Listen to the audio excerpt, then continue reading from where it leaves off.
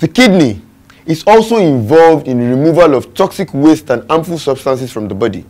But despite the numerous functions that the kidney is involved in, unfortunately, there are some diseases that can affect the normal functions of the kidney.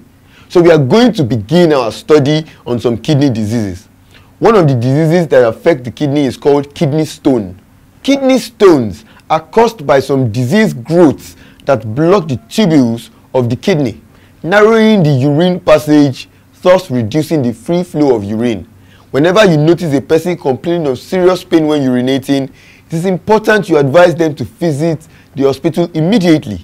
It is a symptom that should not be neglected at all because one of the major effects of kidney stones is that patients experience pain during urination.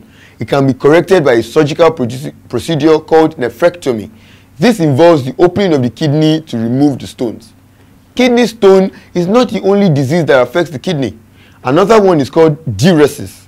Diuresis is a condition in which the kidney filters too much bodily fluid that increases urine production and the frequency with which the patient needs to use the bathroom.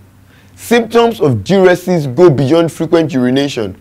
They also include thirst due to loss of fluids, poor sleep from the frequent need to urinate, and fatigue caused by loss of essential minerals in the urine.